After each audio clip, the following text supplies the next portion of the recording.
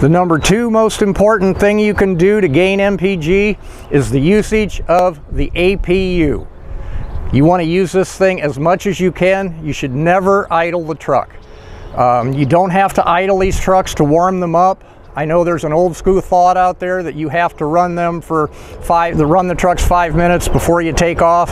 That's no longer true with the newer equipment. You can start the truck up. Once you've got air pressure and oil pressure, you're good to go. Anytime you stop, you want to get into the habit, you set the brakes and you turn the truck off. Just boom, boom, every time.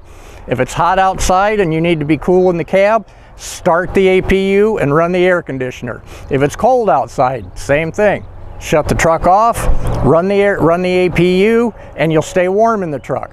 Not only does the APU keep you warm in the winter, it also keeps the engine warm. So you don't have to worry about no starts because it's cold outside.